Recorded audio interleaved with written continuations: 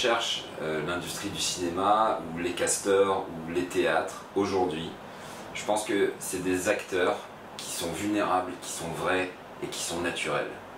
Le problème en Europe, c'est que nous enseigne des techniques qui sont vieilles d'il y a 30, 40, 50 ans, et encore je suis gentil, quelquefois c'est 100 ou 200 ans, et que le jeu d'acteur évolue, le cinéma évolue, tout évolue, et que donc maintenant on a changé de mode.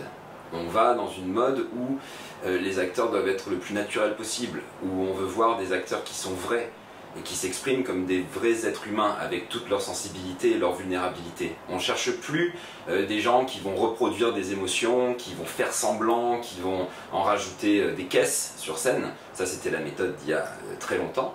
Mais maintenant, pour réussir en tant qu'acteur, il faut réussir à être le plus vrai possible, à s'ouvrir, ouvrir son cœur, donner de l'amour sur scène à son partenaire, être connecté à lui et être connecté aussi aux spectateurs du coup, en leur vendant du rêve.